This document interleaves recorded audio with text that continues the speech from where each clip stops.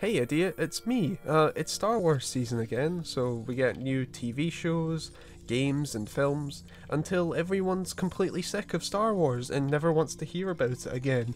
It's an exciting season this year, especially since we got this really fun, like, Metroidvania game and an apparently good TV show, but it's all overshadowed by what's probably the worst Star Wars film ever made. I can't wait for the 10 hour long review of it that no one will watch, aside from random people on Twitter who yell that media quality is objective. I'm kind of tired of Star Wars if you can't tell, and for some reason I decided to make it like way worse for myself by making a video on a Star Wars game.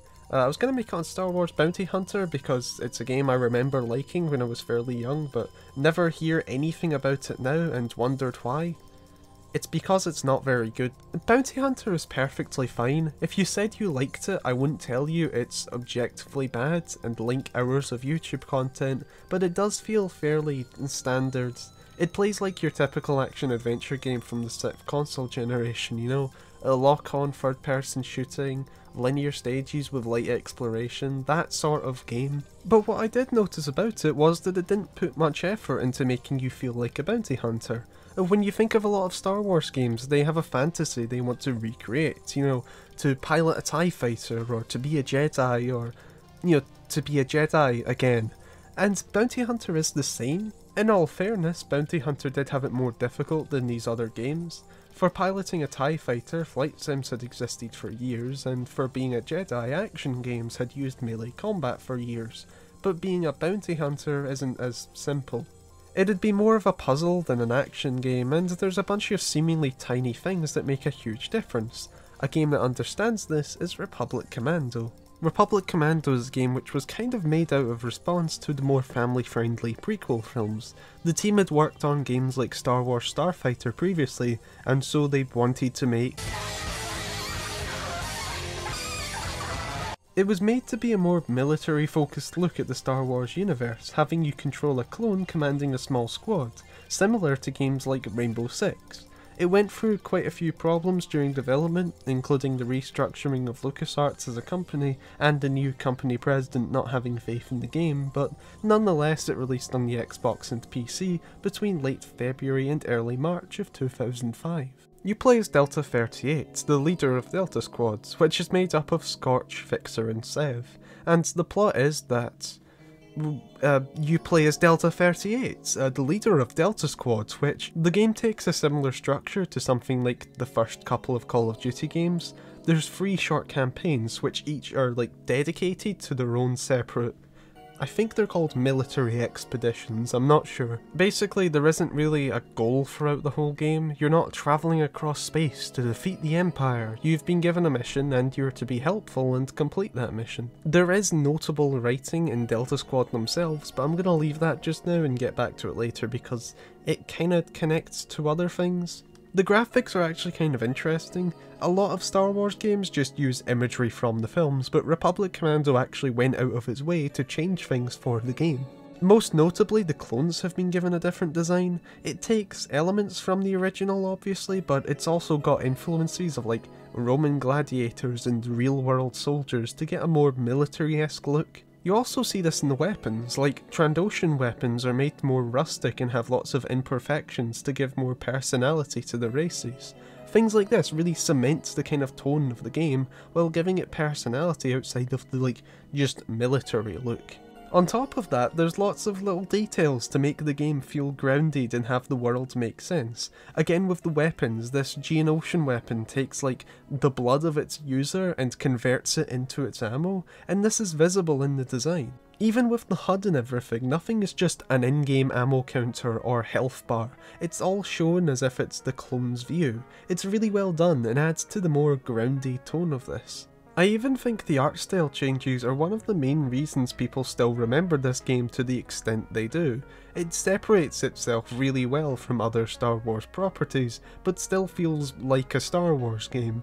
The music's mostly still here, sounds are familiar, and the designs haven't been changed to the point where they're unrecognisable. It's all still Star Wars, they just changed things to fit the game better. I wish more Star Wars games did this. I know a lot of them were based off of the films and they didn't want to change its look, but they're changing things from the film here and it ends up giving it its own identity really well. In fact, the music has been changed in places as well to make it kind of darker, which fits really well.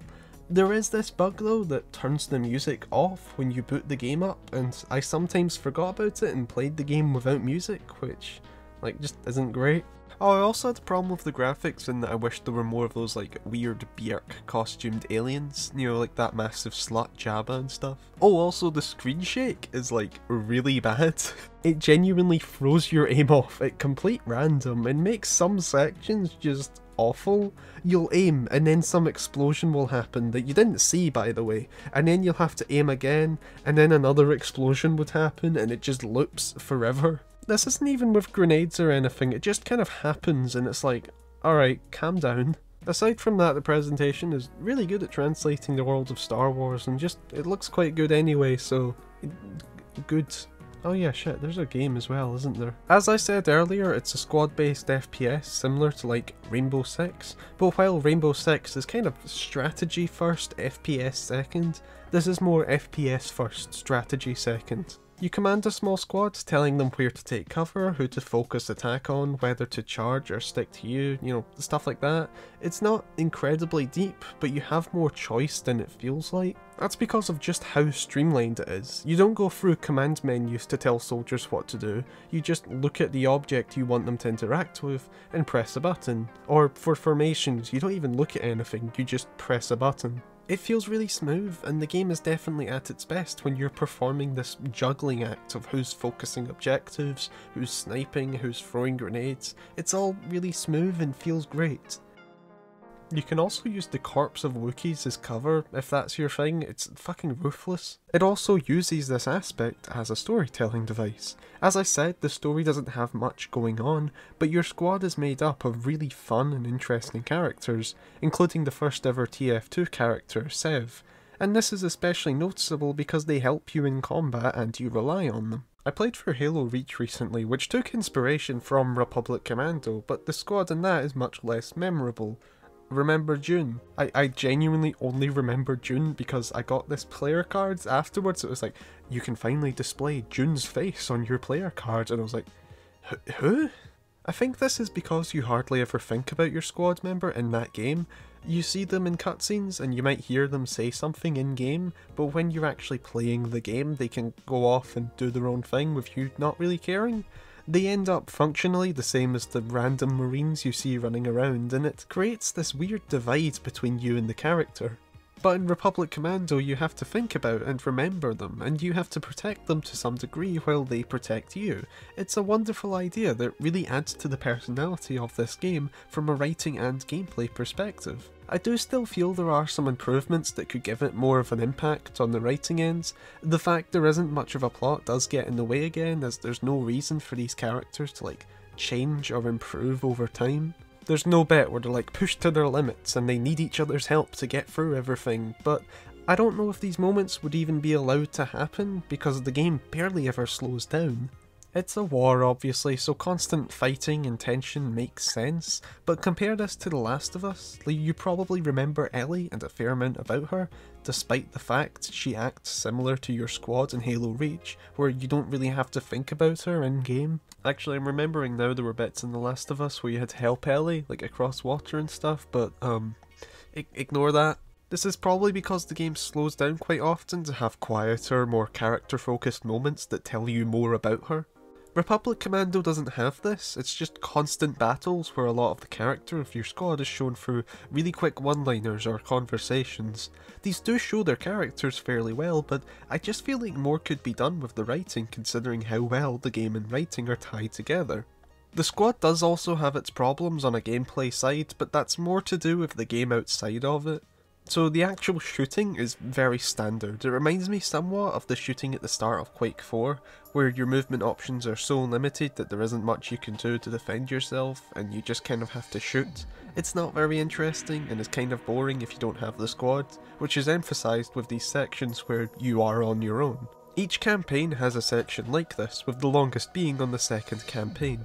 It's fairly dull and standard, and it's fairly obvious they have to limit the mechanics they can use because you don't have any teammates. In the ship campaigns part, where you're on your own, you pretty much only fight the Trandoshans. On the Geonosis campaigns part, where you're on your own, you only fight like one super battle droid at a time, it's kind of clear the game's not supposed to be used this way, and yet they use it that way multiple times. I've not mentioned actually, the reason you can't fight many enemies is because a lot of them have an insane amount of health. It's not even like Halo where you can unload a magazine into an enemy, it's more like Destiny or Borderlands where taking down one enemy is like a task. They would have done this because the rest of the game is designed like Destiny and Borderlands, as if it's co-op, and you have to work together to take down enemies, but that kind of falls apart at these single player bits, since most enemies are designed to be fought with teammates. But even when you have your squad, these tougher enemies just don't really work. The way the AI for your squad seems to work is that if they don't have a job and are just fighting enemies, they'll kill an enemy, take a break, and repeat. This works fine for weaker enemies since they can kill one, then reload and move on to the next, but with tougher enemies it can get to a point where your teammate is just standing, getting repeatedly hit by the enemy as they shoot them. This obviously just looks really dumb, but it's especially annoying because most enemies work perfectly fine, you know, they deal the amount of damage you'd expect them to deal, some though, I don't know what happened, but some of the enemies deal a ridiculous amount of damage which totally breaks the game at points. Like, watch this.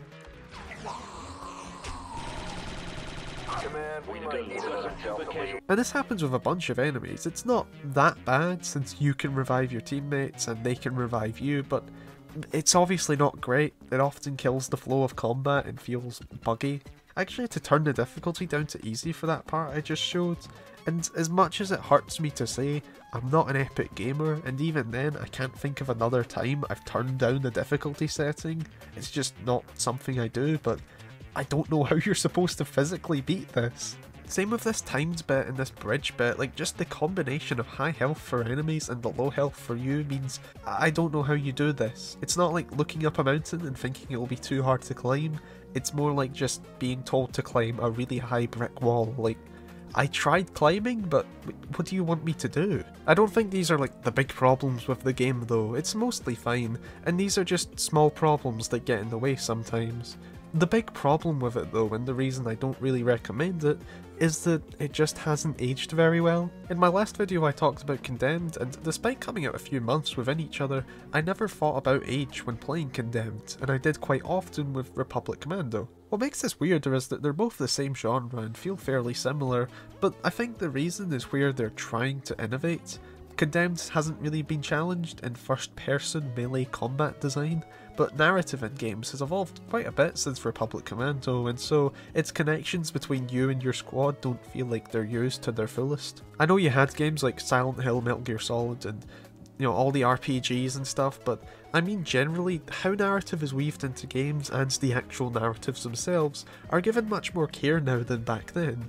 So this game ends up having the same problem as I had with Quake 2, where its innovations are great and interesting, but I'm having to look at them next to like Red Dead Redemption 2, at which point it's like, it's just not really fair. But unlike Quake 2, I think the innovations here are still worthwhile nowadays. If this had a sequel now, with more of a story focus, I would probably love it. In fact, there was a planned sequel, but it was scrapped. This is the cancelled Star Wars game I want back, not 1313 or Battlefront 3. So much more could be done with it, and it's just a shame that I don't think much will come of it. It doesn't even need to be Star Wars, just give this idea more space to breathe in any game. But for now, Republic Commando is fine. I don't recommend it, as in I don't think you should play it as soon as possible or anything. I don't think playing it was hurt either, it's decent, it's just more interesting in concept than in execution. This multiplayer mode doesn't help either, which just seems to be like generic deathmatch and stuff. There's nice customization, where you can either be a cool space goblin or a boring space marine, just like Warhammer 40k, but setting it up doesn't seem fun. Servers for it like don't exist anymore, and there used to be one server of it up at all times on GameRanger, but it seems to be gone now. Me and a friend tried to set up our own GameRanger server, but it didn't work. We would have tried further, but from walking around an empty map I found that the sensitivity is broken on multiplayer. It might be to do with the weird mouse on the menus, but I don't know how you can fix it. Speaking of that mouse, actually, like, I don't know what's wrong with it. On all the menus, the mouse is really sensitive, and again, I don't know how to fix it. It's not game breaking since it doesn't appear in game apart from hints, but you can turn hints off since they're just stuff like crouching is good for ducking, which, like, I'd hope so. But anyway, that's Republic Commando. It weaves narrative into gameplay wonderfully, but has no narrative, so for what it's worth, you tried, but, uh, yeah. I wrote a bunch of, like, thumbs up emojis on my script. I don't know what I meant by that. Um, it, play Republic Commando if you want. It's not bad. If you don't want to play it, then, like, okay. Uh, Happy New Year as well, I think. I don't know when this video will be out. It's the 3rd just now, but so, like, Happy New Year just now. I'll try and make more videos this year because like I think I'm gonna die soon. Expect playing Vegas Pro to appear next to my status on Discord because I'm gonna completely burn myself out on making videos. Um, I'm not, I'm not bad at ending videos by the way. I'm just kind of confused by how I'm supposed to end this. I'm just looking at the thumbs up emojis.